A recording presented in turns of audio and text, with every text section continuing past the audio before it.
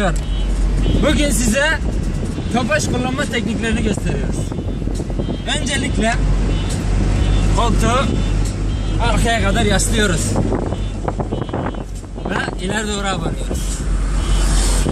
Direksiyon tekel. Arabamız 98 1.6 SLX IE.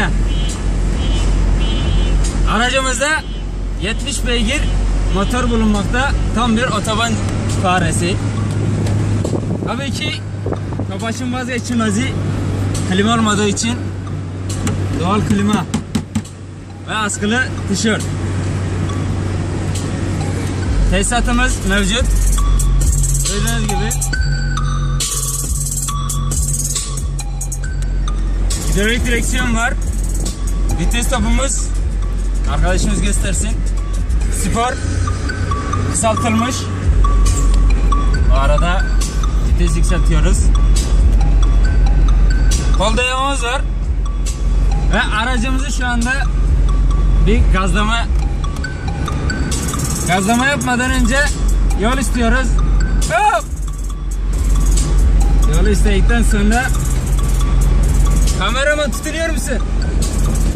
Yükleniyorum.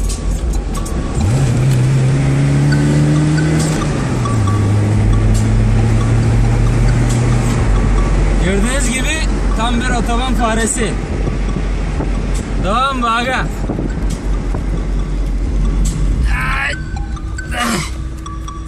Araba basık olduğu için sürtme yapıyor. Onun için biraz dikkatli kullanmamız gerekiyor.